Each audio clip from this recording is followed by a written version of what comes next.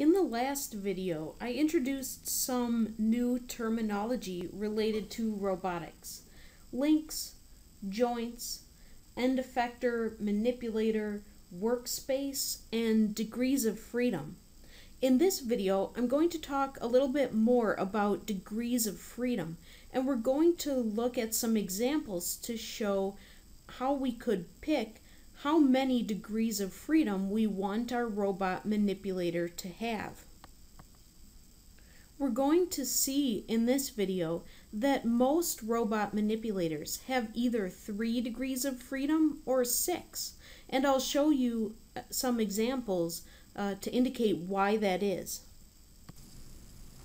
In order to help illustrate the concepts of degrees of freedom as it relates to workspace, I'm going to build a, a little robot manipulator on my box here. A robot manipulator is just a series of links and joints.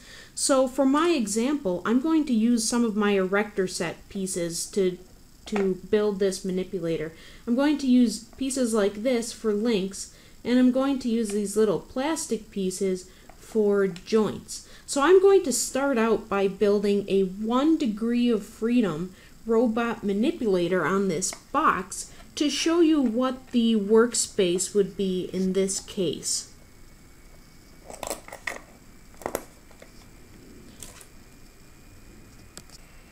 So here I have my very simplistic one degree of freedom manipulator. I can tell that it has only one degree of freedom because it has only one joint. And this joint is a revolute joint rather than a prismatic joint because it allows the joint to rotate rather than slide in a linear fashion. Now, in this manipulator, the end effector would be located right here at the end of the, um, the link, and what I want you to do is imagine in your head the space that this end effector traces out as I rotate this one degree of freedom manipulator throughout its entire 360 degree rotation. This space that the end effector traces out as I rotate the link is the is the manipulator's workspace.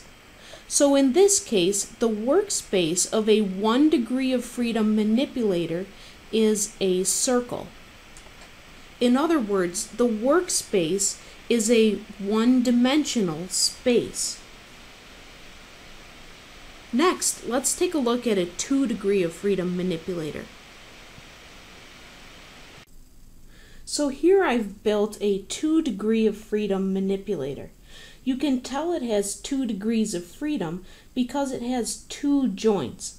And once again, both of these joints are revolute joints. Now, there's more than one way that you can build a two degree of freedom manipulator. This one that I've built here is called a two degree of freedom planar manipulator.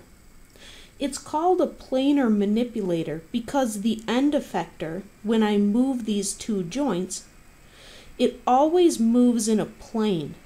In other words, the end effector always remains on the same surface.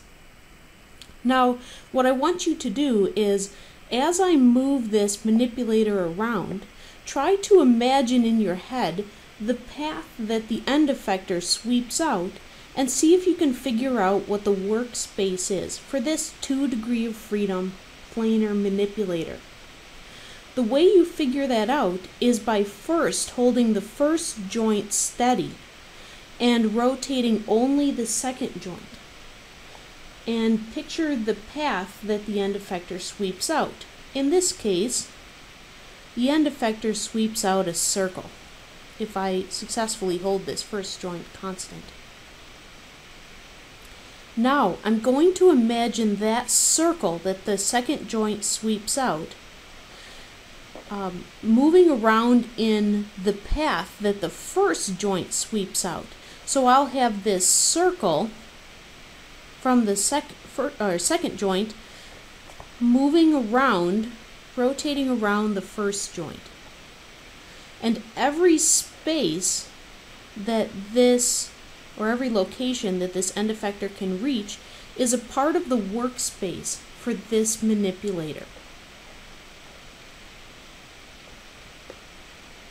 The workspace for this 2 degree of freedom planar manipulator will look like a disk. I'm going to show you a picture now to represent the uh, workspace of both a 1 degree of freedom and a 2 degree of freedom manipulator. And what you'll notice is that while the 1 degree of freedom manipulator has a one dimensional workspace, the 2 degree of freedom manipulator has a two-dimensional workspace.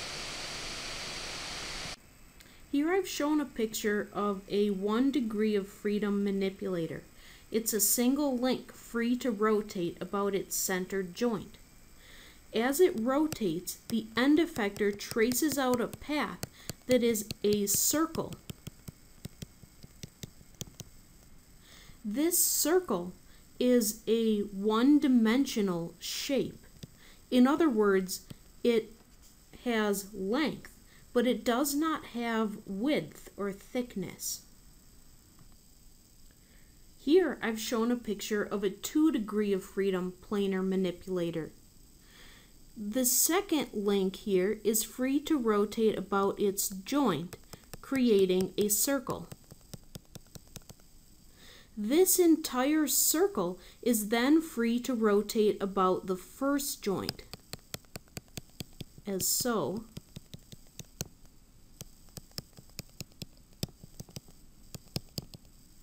So that the workspace of this manipulator is this entire area created by uh, or bound by these two lines.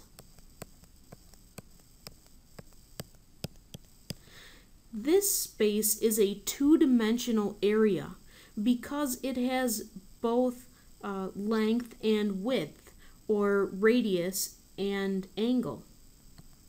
So the workspace of a one degree of freedom manipulator is one dimension, a circle. And the workspace of a two degree of freedom manipulator is two dimensions, a disk. So now you might be able to predict why it is that many robot manipulators have three degrees of freedom. You would expect that a three degree of freedom would have a workspace that is three dimensional. Having a three dimensional workspace is very useful since space consists of three dimensions length, height, and width. I'm going to now show you an example of a three-dimensional manipulator. Here I've built a three degree of freedom manipulator. It has a joint right there, there, and a third one up here. This three degree of freedom manipulator allows rotation around its base like this. I've switched to more of an isometric view here so that you can see this a bit better. It can rotate about the base it can rotate uh, in it. We call this the shoulder of the manipulator right there. And then we also have the elbow that can rotate here. If you imagine the space at the end effector of this manipulator traces out, you can see that this manipulator can reach points in a three-dimensional volume rather than simply a two-dimensional area as the 2 degree of freedom manipulator, or simply a line as in the 1 degree of freedom manipulator. You might recognize this design uh, of manipulator from industrial equipment or even from your own arm, and there's a good reason for that. This is a, a useful manipulator design for being able to reach um, having a wide workspace. One final thing that I would like to point out in this video is that while it is true that it is required for us to have a at least three degrees of freedom in our manipulator in order for the manipulator to have a three-dimensional workspace, it is not true that every three-dimensional manipulator is has a three di um, dimensional workspace. In order to uh, show you an example of that, I've built here a manipulator that has three degrees of freedom, but its workspace is only two-dimensional. This is true because this is a three degree of freedom planar manipulator.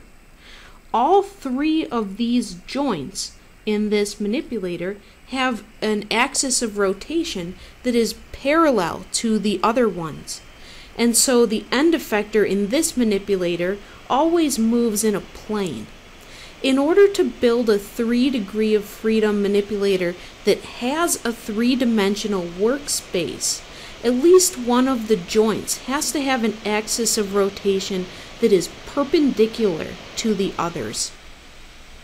This kind of a manipulator that has more degrees of freedom than it has dimensions in its workspace has a particular term. It's called a kinematically redundant manipulator. A kinematically redundant manipulator is one that has more joints than are necessary or more degrees of freedom that, than are necessary in order to achieve its uh, dimensionality of workspace. So, a two degree of freedom manipulator that has only a one dimensional workspace would be kinematically redundant. Or, as shown in this case, a three degree of freedom manipulator that has a workspace that is only two dimensional is a kinematically redundant manipulator.